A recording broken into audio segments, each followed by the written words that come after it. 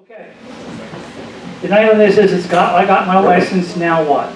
And here's the thing, situation, we spend a lot of time getting people to get a license, and then, you know, if, what do they do after that? That's what this is, this is all about. Okay, that's a little bit about me.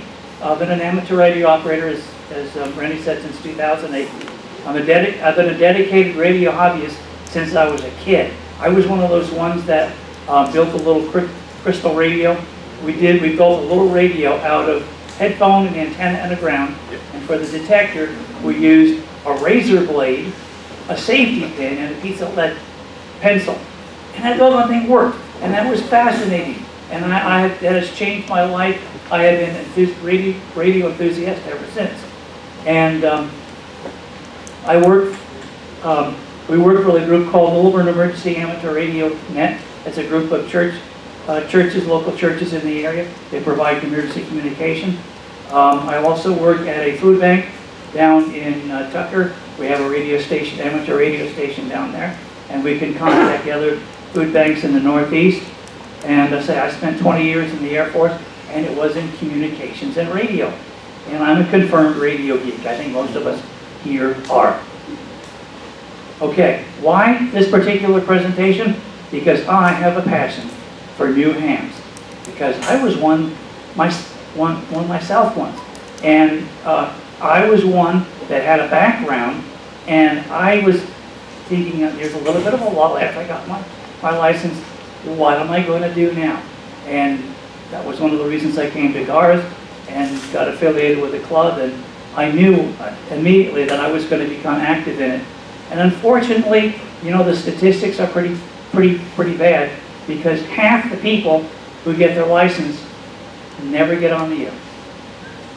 That's where we come in. Hopefully, we, we can help some of these new hams get, get active in the hobby and, and get, and enjoy the, the, the thrill of radio that we have. Okay, please do interrupt. I love questions. Um, so anytime you have a question, just raise your hand and uh, I guess somebody will take a, a mic over there. And uh, um, we hope that, that you will ask plenty of questions. Okay, and the only stupid question is the one that you don't ask.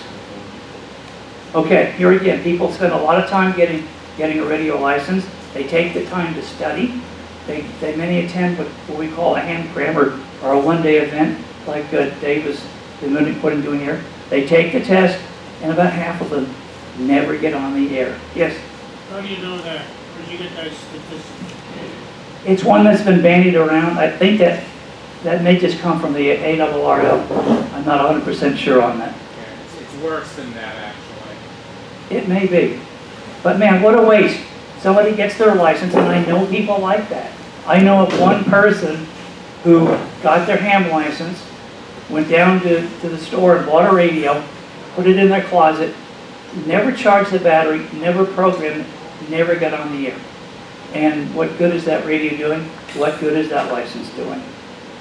Okay, so if you have your license, and this gentleman back here, we want you to succeed. And even if you've been a, been a ham radio operator for years, we want you to succeed and to have fun with the hobby. Okay, now this is one of the most profound statements I had ever heard about amateur radio. An amateur radio license is a license to learn. And this is by Dan Henderson, N1ND of the Amateur Radio Relay League. He came down last year to Ham Jam and uh, made that statement. And I tell you, that has stuck with me. Uh, and hopefully we're all learning. Um, I'm one that, that tries to learn something every day about amateur radio. I'm a radio geek.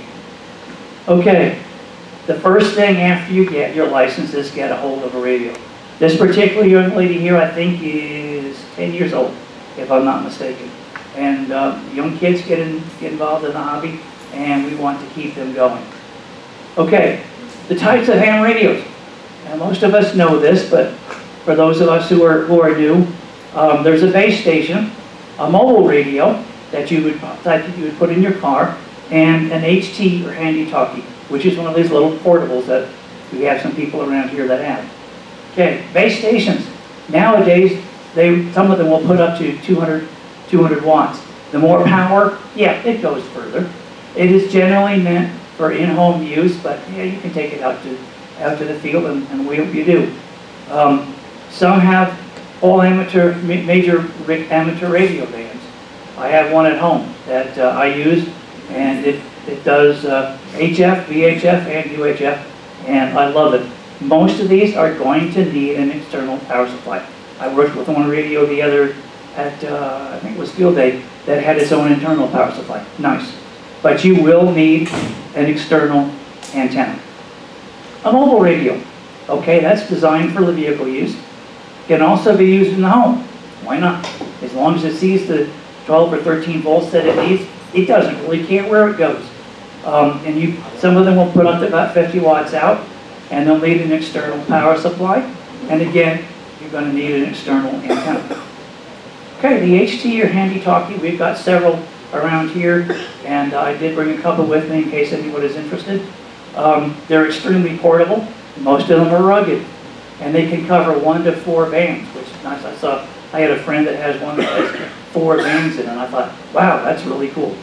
Um, it's a complete fun- functioning station in one device. And when you're brand new, that's usually a way that most, uh, most of us will go. They'll start out with one of these HTs. And uh, they can be used in the home, in the car, or in the field, and they can be your base station. My, my, uh, my portable, my mobile radio is actually an HT, and I have an HT at home as one of my base stations. Why not? You can make them do triple duty. Okay, most families are going to buy an HT. Um, it's a small thing, it's battery powered. Now the maximum I think I've seen out of these is 8 watts. Most of them run about 5, some will run about 4. And they come with this rubber ducky antenna, that's it's called. That's the stock antenna that comes with it. Um, it's not generally very effective. Usually you're going to lose about half your power going out. So if you have a 5 watt radio, it's only going to put out about 2.5 watts after it goes through that antenna. So you got to get a better antenna for it. Okay, now when you get your license and you're looking for a radio, you want to get the best radio that you can. Um, it's, and I recommend a dual band radio that will do 2 meters and 70 centimeters. Look for one that is intuitive to use. Now I, I have um, some of the, one of the Chinese radios and I do not find it intuitive. Uh, most of the ones that you buy from Japan uh, usually will, from the Japanese companies, are usually intuitive. I can't say they all are, but most of them are. And you may want to avoid some of the cheapies because of that. However, if price is a major concern, they get some of these uh, little Baofeng radios now. I saw them on, uh, I think it was Amazon. They're about $25, $26. You can't beat the price. Now, if you have, if you uh, get a decent radio and want a second cheapy radio, hey, if it doesn't work, you, you get it home, you got a cheap radio. If you lose it, who cares? If it doesn't work, who cares? Throw it away and get another one. For a lot cheaper than you'd have to re- have repaired. Now you can ask a, hello, a fellow ham for help and we'll always be glad to help you on that. Okay, antenna choices. When you get one of these HTs, you want to replace it with uh, what they call a whip antenna for portable use. And if you go down to the to the uh, amateur radio store, and we'll get to a little bit about that a little bit later, uh, they'll they'll get you. They'll steer you right. An external antenna, obviously one will yield better results. Um, it can be as simple as a mobile antenna on a pizza tin. This was my first external antenna. Hey, you know, it's not pretty, but it works. I spent twenty dollars for the for the uh, for the antenna, and uh, the pizza pie with pizza tin was one that we had that was old and beat up, so I bought a new one and kept the old one. Hey, they work. Now you want to get that up as high as you can. You'll need an adapter for your radio, but there, and we have those. Those are those are easy to come by. You just put it up as high as you can. If you have a two-story house, go upstairs, because the higher you are, the more, the better your signal is going to get out. The better you're going to be able to hear people. Um, so it it works. Get your antenna as high as you can. Okay, there's a, there's a picture of one of the whip antennas that you can get. Um, Oh, yeah, this is one. This is called a ground plane antenna. This is meant for external use. My first amateur radio construction project was a homemade ground plane antenna. And you know the thing worked. It looked ugly as sin, but it worked. Um, this is what, this one is called a J-pole. This is a nice one to have. Um, I've had, in fact, I have one of these at home. And it's, it's surplus. Um, anybody's interested, uh, let me know. Uh, it, it's called a J-pole because it looks like a J. there are single band, and I think there's some dual band ones too. This is one I like. This is a portable J-pole antenna. It's a foldable one. I have one in my bag down here. If you're interested after the meeting, come up and I'll show you how it works. I can throw this up in a tree anywhere. In fact, during uh, storms, when we have bad storms, a thunderstorm in the area, I'm not going to hook up my external antenna. I'm going to use that on, and hook it up in my in my office, and that's and that way I'm, I'm not much less uh, likely to, to get a lightning strike. These things are great. You can go just about anywhere, throw it up in a tree, and you're on the air. Okay, buy, buying a radio, buying new or used. Okay, well, there's, there's advantages to both. Let's take a look at buying new. Usually you're going to get everything you need to get on the air. Um, the new units are programmable, which means if you, if you move from one area to another, you can change the frequencies. Uh, you're always going to have the latest features when you get one of these radios. And the bad news is you're going to have to program it. Um, and there are, there are ways to, we'll get out, we'll talk a little bit about that. Buying used can be cheaper. I bought, uh, actually it's a friend that bought me a radio that uh, he got it, uh, I think it was at a ham fest, and he paid $50 for it. It's dual band, it was an older radio, but uh, it still worked. I gave it to my wife, and she's using it. Obviously, when you get something like that, you're not going to get a warranty.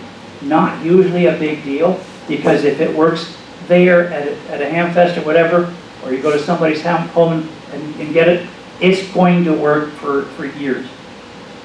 Uh, if you're buying used, hopefully you'll get a chance to try before buying. Um, you may not have a manual or other accessories. Obviously, if you get, if you buy a radio and it's got the manual with it, uh, you're, you're much better off. And it's usually, it may be an indication that the uh, individual you're, you're buying it from has taken care of the radio. Um, and again, here's a good thing to do is to buy some from someone you know or somebody that has a good reputation. Uh, for example, if you go on eBay, uh, you see somebody there that you know that that's, that's, that's an honest, reputable dealer, that may be the best place to do. And again, asking a more experienced hand will be beneficial to you. Okay, where to buy radios? You want the new ones. Okay, Ham Radio Outlet is down on Buford Highway, just across the, the uh, county line into uh, DeKalb. You go up the little ridge and you look on the left, and there's Ham Radio Outlet. Um, they do sometimes have used equipment. Probably not HTs, but hey, you never can tell. Uh, there are many reputable dealers online. I've seen a bunch of them. And uh, there's some that I completely trust. There are very few on that advertise in the radio magazines that I would not trust. Okay, check your local clubs. Um, if, for example, uh, those of you who have the uh, what they call a reflector from GARS, people off, on there often sell their wanted to sell sell a radio. You might be able to find a, a good deal on some of those things. Uh, eBay again, used. You have to be careful. Make sure that you get the right person. Craigslist, use the same thing. And estate sales. Um, I got a couple of things from an estate sale. Hey, usually they're, you're, you're going to find a, a pretty good deal with some of those. What brand? I've often been asked this question. I would say try before you buy if possible. Um, ask your fellow hands and look for online reviews. If you type in, for example, you want to look at a radio, um, say for example, ID 5100, 51A, all right? You type that in your, your browser and type in the word review and you'll find a bunch of places that come up that will give you um, reviews from people who own one or have owned one. Uh, eham.net is one of the ones I know that, that has a, a lot of reviews on there. And uh, you can find something that you like. Okay, this is my personal recommendation. For those of you who want to buy a, a brand new radio, a brand new HT, uh, I do personally recommend the FT60R for a couple of reasons. Number one, it's got a fairly good price. It is not one of the, the cheapy radios, and yet it's not a $300 radio. It's about intermediate. I think it's about 150, somewhere in that area. Uh, this radio has been around for a long time. It is easy to use. It is what I, I call intuitive. In other words, you can figure it out. Some of the radios you get, you have no clue, and you get no documentation, so, okay, what do I do? This is one, and number one, I get the main reason, if you get one of these radios, I can program it for you easily, because I have a program system in both of my uh, computers, and all I need to do is just pop it in there, and you can, you're ready to go. My daughter has one of these radios, and I think I like it more than she does. Okay, you get a radio, a new one, you gotta program it. Uh, there's no way of getting around that. Um, there's a couple of ways to do that. One is manually. That can be time consuming, especially if you have one of these 200, 300, 300 channel radios, you're gonna be at it for a while. The good, the good thing about that is you're gonna know how to program your radio. And if you're ever stuck in an emergency, you can program it on the fly. Happened to me once. Um, I was at um, the uh, Memorial Day Parade, and I had the wrong frequency in my radio. It isn't working. Oh, I got the wrong frequency in there. Okay. So, yeah, okay, pull it out, program it, and we're done. There's a program called Chirp. Um, you can find that on, on the web. It's free, um, but not everybody can figure it out. It took me actually going to a program similar to this that somebody showed me how to use it. Now I can do that. There's a company called RT Systems. They're an expensive thing. They cost about $50, but it works very well, and you get it with a cable. And there's a picture of RT Systems in their software. It does make it very easy. I have one for just about every radio that we have in our house, except the one that um, is too old to, uh, to even have one. But I do personally recommend the, the RT systems. Now, if you buy the cheapy, like the Baofeng radios, you have to be very careful. You've got to get a programming cable. Some of them are counterfeit. They will not work with the Baofeng radios. The ones that come with RT systems work. I know because they work, they work for me. Okay, there's frequencies. You're going to have two different kinds of frequencies to put in your radio. The simplex ones. That's the send and receiver on the same frequency. For example, the 2 meter calling frequency is 146.520. It is simplex. You're going to talk on that frequency and you're going to listen on that frequency. Um, you've got to make sure that, well, you want to make sure anyway, that you have the simplex frequencies programmed into your radio so that you can talk on simplex whenever you need to.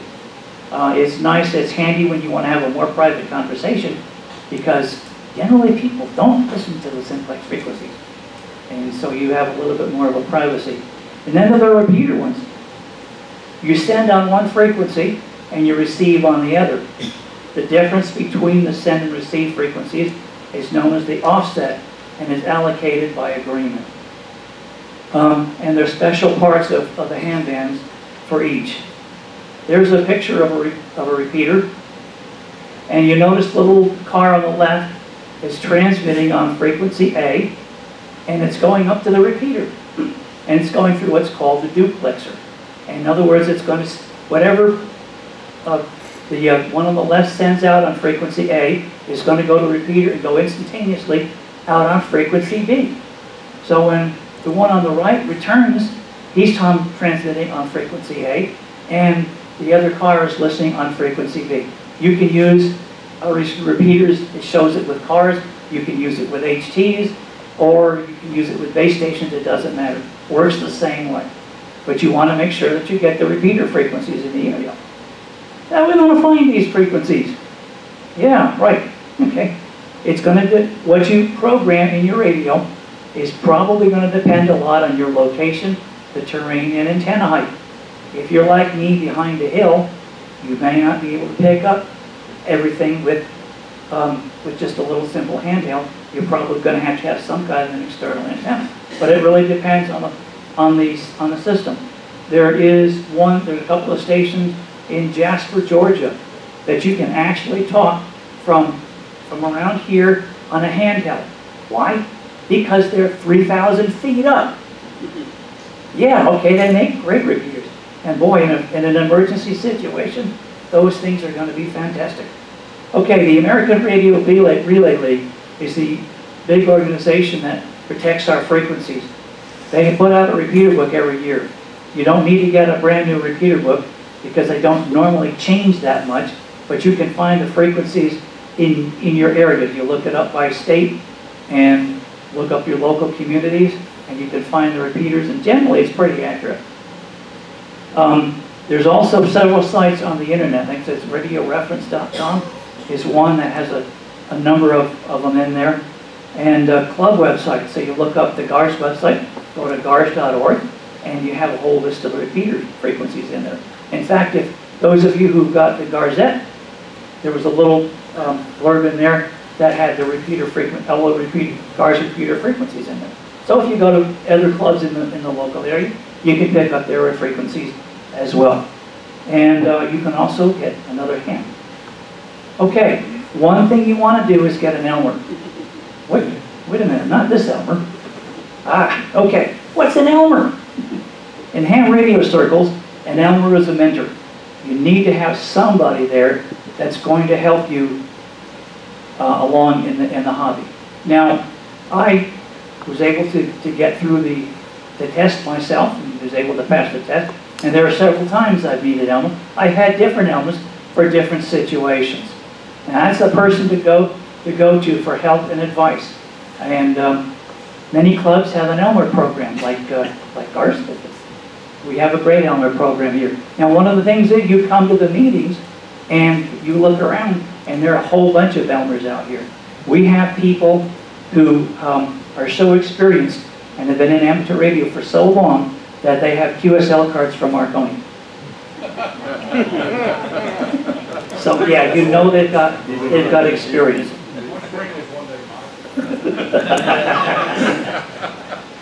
okay, there is my email address, and I will always be willing to help anyone I can. And if I can't help you, I will find someone who can. Okay, you got your license, you got your radio, you got it all programmed. Well, what else can I do is, as a new ham radio operator? Number one, join the club. That's why we're here at GARS, okay? Because you get, you get uh, an opportunity to speak with other hams. You get to have programs like this every month, and uh, you get to learn things. Um, again, gars.org is the, is the URL for that. You get to know your fellow hams. Now one thing you can do is locate books. You can get them at Ham Radio Outlet. You can get them on ARRL.org. You can find, they have books for sale. Um, the internet, or sometimes even the local library, will have books on amateur radio. Um, join the American Radio Relay League. Why? Because they're the ones that protect our frequencies.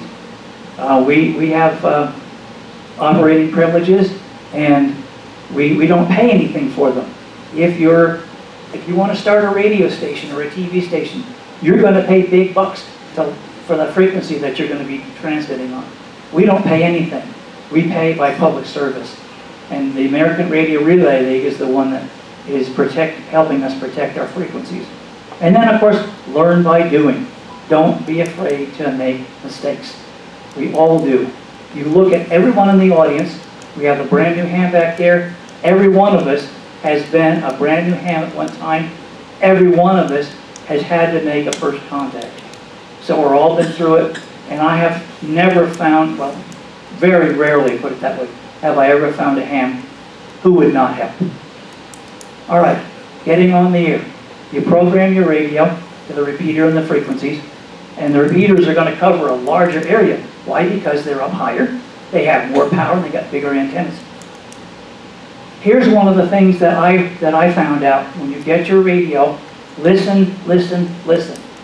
Get on the, on the GARS net Um, we have one on Monday nights. Um, the Lilburn Emergency Amateur Radio Net has one Sunday nights at 7 o'clock. Everyone is welcome to participate.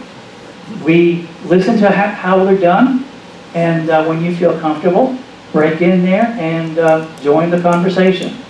Monitor the local nets and other com so that you know exactly what's going on. So you put your radio, for example, on the GARS main frequency and listen.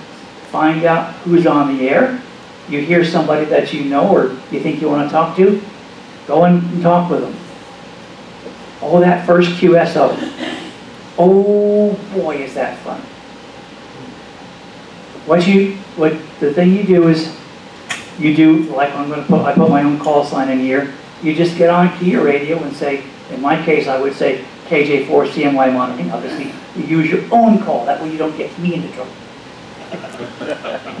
Or you can just say K, KJ4 CMY listening, or just throw out your call sign. Say KJ4 CMY. Don't be afraid to tell someone this is your first time or that you're new. We have all been there. We use plain English, especially on VHF and UHF frequencies. So you're not going to get very much stuff on there that you're not going to understand. You have to ID every 10 minutes and at the end of a conversation or a QSO. Now, okay, so let's say you have a you have a friend that you, that's on the air named Jack, and um, you don't even have to identify your station when you or your call sign when you get on the air. You can say, "Hi, Jack, are you there?" And then Jack comes back to you and talks. As long as you ID every 10 minutes at the end of your conversation, you're within the law. Most ham radio operators will throw out their call sign at the beginning of a conversation. Um, it's not necessary, but it's, it's kind of the way they do it. But if you're talking to a friend, and you know, and you know that that particular friend is on the air, yeah, why not? Okay, GARS activities. Now, I push GARS. GARS, i in some ways, it's intimidating because it's a big club. But on the other hand, it's good because there's a big club, because there's always somebody there that you can meet and, and get to know. Some of the activities, and I didn't put them all down. I, when, when I went through this this afternoon, I, I put a bunch of more in there, and I, I got on the way here and I thought, uh-oh, I forgot this and I forgot that. Let me just go through some of them. Tech Fest we have, and that's a chance where we, uh, it's, it's, it's GARS uh, hamfest. It's called a hamfest, but it doesn't, it's not like a regular hamfest. It's more of an educational experience. Very good, very informative. Uh, Field Day, a wonderful opportunity to get on the air. Whether you just got your license or you've been licensed for 50 years, there's uh, always a place for you to get on there. Satellites in the Park is a fun one, where actually we'll get out with our, our equipment and uh, we'll, we'll talk to people via satellites. Um, the dog show, okay, uh, and I, I can't push this enough, and I know uh, John will back me up on this. The dog show is a fun thing to do. If you've never been on the air, never been on a net, this is a great opportunity to come. It is not hard work. Um, you sit down most of the day, and you probably won't have to get on the radio every every 15 or 20 minutes. Uh, it is a lot of fun. You get to work, uh, you get to be on the net. And again, it's very low power. You make a mistake, who cares? Um, and get active in the club. Um, make it a point. I'm gonna, I'm, I'm joining GARS. I'm gonna be here every month. I'm gonna get on the nets. I'm gonna be in their activities. Now, one of the things that I have tried to do lately, and I've not see, not failed in several months, is to introduce myself to someone I don't know. That's probably the hardest thing about GARS is there's so many people in here. I do not know everybody's name. So if you're new, you're probably in the same situation. Well, okay, for those of you who are new, introduce yourself. hey, I'm David, KJ4 CMY, just got my license. Pleased to meet you. If you've been here since the club was organized and you see someone you don't know, hey, I'm David, KJ4 CMY. Pleased to meet you. Get to know people you don't know. That's the, the best way I know of, of, of really getting yourself in, in, into the club. Okay, the GARS workshop. Now, this is meant for, for new hands, and I put this up, I clipped this out of the, the, uh, the website, and unfortunately, it wasn't quite up to date when I did it. But um, the next show is coming up is next week, right here, same time, same same station. And we're going to talk about Morse code keys. Now, the nice thing about this workshop is it is geared towards new hams. It is an activity, not like you get up here and listen to me blather for, um, for half an hour. But you will get an opportunity to talk. If you have questions, they will usually do a short presentation, and then any questions you have, you raise your hand and say, I got a question. What does this radio do? They'll be glad to help you. It's just a great thing, and I try to support it as much as I can. Any questions? Okay, Comments? how are we on time? Good. Okay, Da- David, I had a comment yes, um, on the repeaters, on the repeater frequencies on Android. Don't know Apple, but on Android, there's one called RepeaterBook, Yes. completely free. It uses your GPS to figure out where you are. and tells you all the repeaters around you on any of the different bands. So you can find a 10 meter repeater, a six, one and a quarter, whatever you're looking for, and it'll tell you D-STAR, uh, Fusion, etc. So it's a, it's a nice little resource you you That's- didn't mention. that is another resource. I, yes, I, I did mention I need to put that in there. In the. Let me, let me Yeah. get some, some, some comments from him, since we have the time. This one here is from N3PAQ. He says, so what makes a good first radio? It depends greatly on two things. What will you use the radio for and your budget? Some other comments? Yeah, Dave? Well, I just wanted to say, since you had mentioned uh, the dog show coming up, the next uh, Poly event where you could use your radios will be Jamboree on the Air. Jamboree on the Air is, uh, Steve had mentioned earlier, is a great scouting event where we have scouts come in, a lot of them go for the radio merit badge class, and then we help get them on the air and make a contact. So it, it can help you or coach you through what it takes to make that first contact by watching someone else and helping them. I did that one a couple of years ago.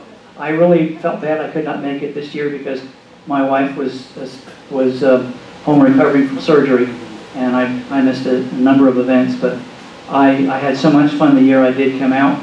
I was able to get on the air and uh, talk to several um, other places that were doing JOTA. In fact, one of them was in New York City, the friendliest group of people I've ever met.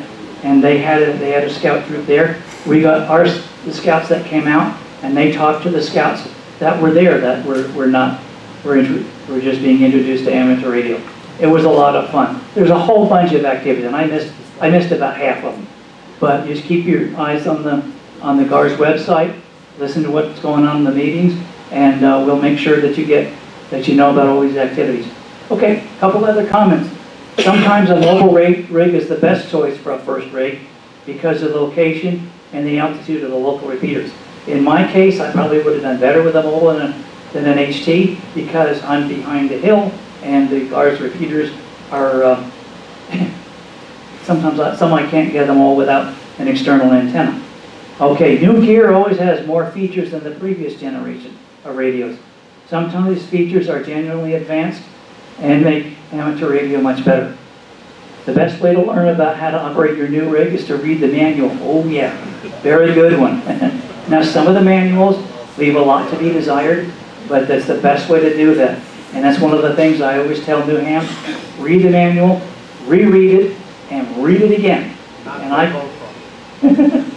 not the Baofeng. However, with the Baofeng, there are uh, excellent manuals that have been privately produced. In fact, there's one called the Chinese Documentation Project, and there was like a 70 page out of that thing. Yeah, really, very good information on that. Okay, don't be afraid to experiment. Don't be afraid to ask questions. Join your local amateur radio club. That's hopefully why we're here. This is the best and fastest way to get your questions answered by people who live in the same area and have done the same things for the first time, just like you are doing now. Okay, there are a lot of things you can explore.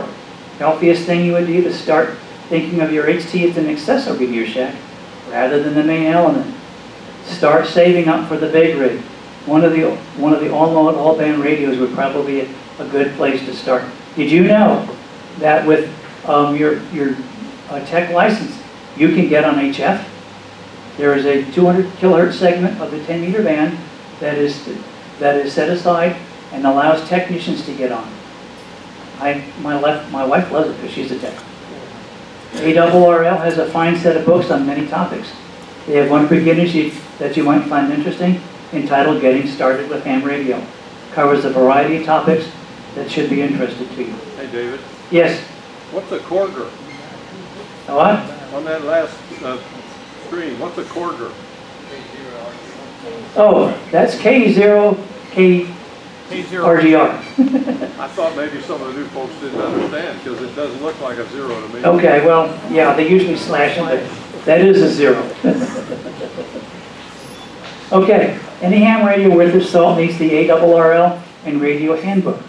Um, you can make HamFest load up on ham mags from the 60s. Sometimes people bring in used magazines. That's a great way to, to start. Um, and some, they mentioned some of the older ones too.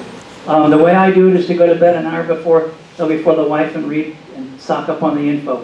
If you have an interest in home brewing, it's only natural. You'll be picking on everything ham radio. Okay, So a lot of people have brought their old ARRL handbooks here as giveaways. So if- if you have a new one and an old one and you don't want the old one anymore, bring it in for a new hand. yeah. Most times you'll find the information in an older manual relevant. Reading is good. Now, oh, the internet has a lot of stuff about ham radio you can read. Now, I, I like to look at that, and I'm a YouTuber. And you know what? There are tons of interesting things on amateur radio on YouTube. Yeah, I mean, if you just go to YouTube and type in amateur radio, yeah, you'll find thousands of video, videos on there. And I've, I don't think I've ever come across, I come across them boringly, but most of them are pretty good. And you'll soon find the ones that will help you. There is a, yeah, Dave Casler, the one that you mentioned down there, he does have a whole series on uh, beginning amateur radio. Um, don't plan to be an expert next week or next year or even the next decade. Thank you for coming. I appreciate it. Um, if there's any questions, let me know. If you want to talk to me after the meeting, I'd be glad to.